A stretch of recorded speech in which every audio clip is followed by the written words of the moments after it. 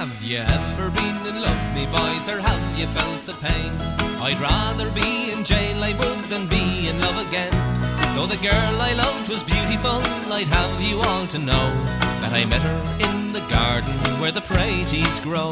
She was just the sort of creature now that nature did intend to walk right through the world, me boys, without the Grecian bend. Nor did she wear a chignon, I'd have you all to know that I met her in where the praties grow. She was singing an old Irish song called Gradh Geal Mo Chroidhe. Oh boy, says I, but a wife she'd make for an Irish lad like me.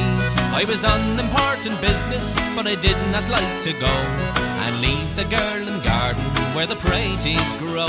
She was just the sort of creature now that nature did intend to walk right through the world, me boys, without the Grecian bend.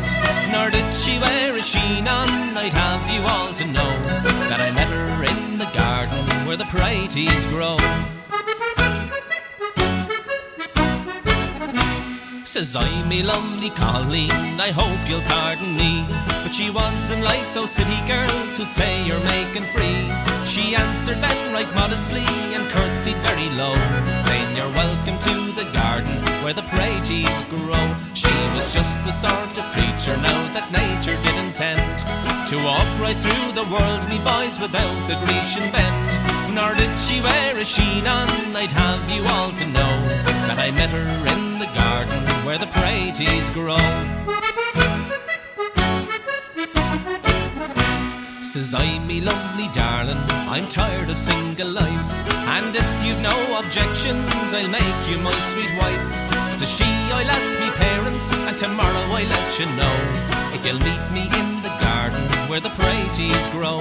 She was just the sort of creature now that nature did intend to walk right through the world, me boys, without the Grecian bend. Nor did she wear a chignon, I'd have you all to know that I met her where the praties grow. Now her parents they consented and were blessed with children three. Two girls just like their mother and a boy the image of me. We'll train them up in decency the way they ought to go. But I'll ne'er forget the garden where the praties grow. She was just the sort of creature now that nature did intend to walk right through the world, me boys, without the Grecian bend. Nor did she wear a chignon, I'd have you all to know that I met her in the garden where the praties grow.